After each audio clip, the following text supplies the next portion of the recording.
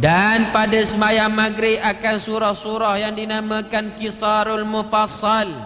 Kisarul Mufassal ialah surah-surah yang pendek. Alam nashrah laka sadrak wa wada'na 'anka wizrak. Siapalah surah An-Nahl tu surah pendek-pendek waktu maghrib. Sebab apa surah maghrib ni baca surah pendek? Kerana maghrib waktu tidak panjang. Antara maghrib dengan isyak tu saya ingat sejam gitu je. Kalau baca surah panjang, ah maka itu mengganggu orang lain untuk buat ibadat pada Allah Taala. Eh, ah ganggu orang lain. Sunat baca pendek sudah. Ada setengah masjid dia tahu dah kita ada pengajian majlis ilmu. Dia baca surah panjang-panjang. Eh, dalam maghrib itu sejam aja. Dia baca surah panjang, dia wirid panjang-panjang. Jadi merugikan kita punya kuliah maghrib lah. Sedangkan pengajian tu penting, ilmu. Betul tak? Ha. Jadi baca pendek, wirid pendek-pendek sudah. Ha, macam yang imam kita buat tadi tu, comel lah tu. Bacaan pendek, kemudian rekah-rekah saja wirid. Betul tak? Ha, lepas tu nak di imam ni dia kena bijak.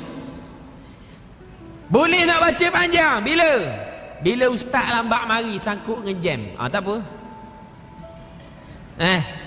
Ah takut jemaah balik ni, Cik Imam kena bijak. Dia kena baca panjang-panjang sikit lepas tu wirid. Wirid panjang, lagi ustaz tak sampai dekat parking penceramah, wirid lagi. Cara dia. Habis dah wirid, tengok ustaz tak sampai lagi. Afdalu dzikri fa'lam annahu la ilaha illallah. Ratik pula seratus kali. Itu cara imam yang bijak. Kalau di berhenti awal, ustaz ni bukan semua sampai awal tuan-tuan. Kadang-kadang sangkut ngejam. Benar Melainkan ustaz ni dia mari dengan helikopter. Ah baru cepat.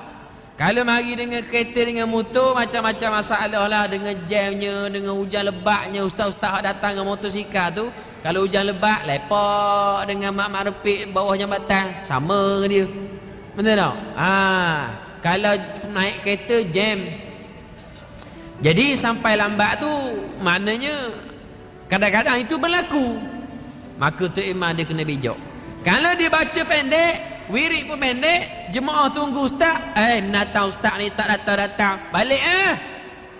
Jemaah sekarang ni bukan reti nak tunggu ustaz, dia tengok ustaz tak ada lagi. Ustaz motor pergi duduk kedai kopi. Maka roti cana. Padahal lepas isyak boleh. Nah.